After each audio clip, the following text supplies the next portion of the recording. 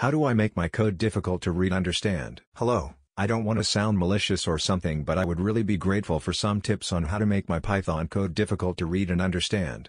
My intent here is to make life difficult for few people in my circle, who like everything served to them on a plate and also take undue credit. Six months down the line you are going to curse yourself out. Give variables similar and terrible names. Strings of random characters and such. Comment your code with things that are flat out lies do things in needlessly complicated ways riddle it with logical errors write it all on a single line.